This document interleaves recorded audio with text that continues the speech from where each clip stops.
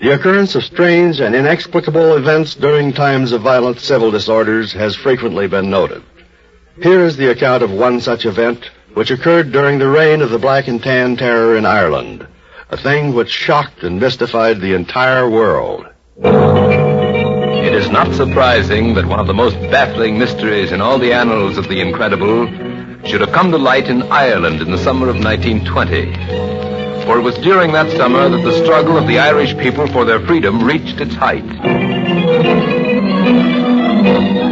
On August 16, the village of Templemore had been raided. The town hall had been burned down. Other buildings had been destroyed, and much of the community lay in ruins and desolation. But on August 22nd, word had spread of the amazing thing that was taking place in Thomas Dwan's house and the villagers and the farm dwellers of the vicinity were determined to witness the miracle for themselves.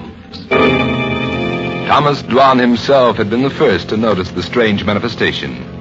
On Saturday afternoon, August 21st, a small marble image of the Virgin and Child in his library happened to catch his eye. He called angrily for his young son. Timothy!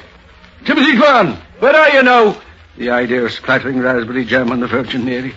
Down the left side of the miniature statue ran a thin trickle of red viscous fluid. Thomas Dwan himself went to find a rag.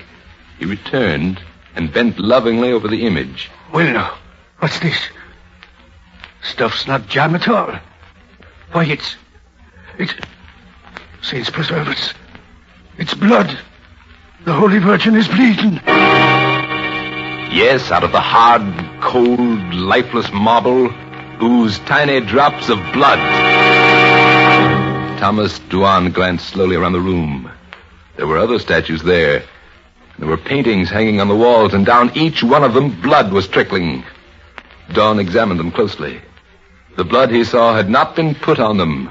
It was actually seeping out of the objects themselves.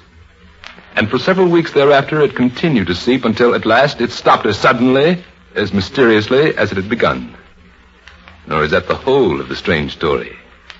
Not far away from Thomas Dwan's house was that of his sister-in-law, one Mrs. Maher. And there, at the very moment that Dwan was making his astounding discovery, a 16-year-old boy by the name of James Walsh, who worked for Mrs. Maher, was pointing in amazement to a statue in the living room. But it is blood, ma'am. And it's coming right out of the stone, ma'am. And that's not all, neither. There's something queer going on in me room. I've got an earthen floor there, as you well know and there's a hollow in it under my bed about the size of a teacup. Well, this morning that hollow was filled up with water, ma'am. I drained it out, and it's filled right up again. And I've been draining it all day, and it still keeps filling up. More than a thousand persons took water from the hollow in the floor of James Walsh's room. And more than a million persons passed the statues that were placed in the windows of Thomas Dwan's and Mrs. Maher's homes but not one out of the million has ever offered a satisfactory explanation for the miracle they observed. A miracle incredible but true.